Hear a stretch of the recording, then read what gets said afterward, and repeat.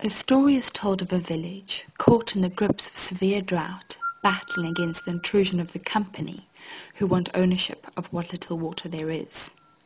Involved in the struggle is an eccentric geologist and his daughter, whose discovery could mean survival of the village, if this discovery doesn't fall into the wrong hands.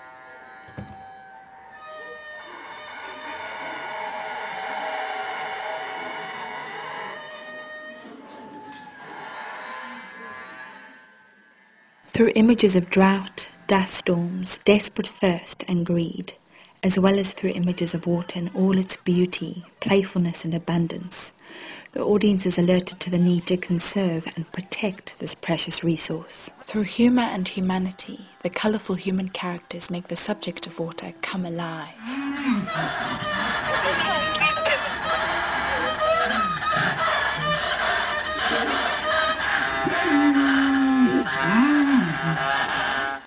I know you're thirsty. I know. I'm thirsty. But I can't make the sky to rain.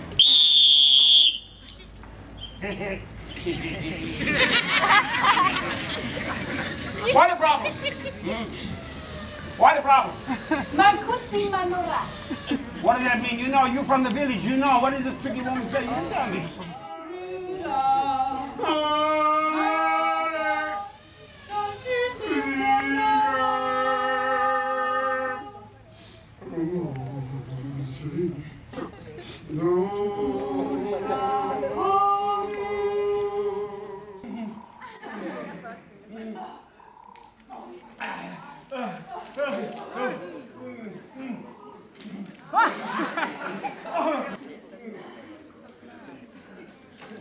That's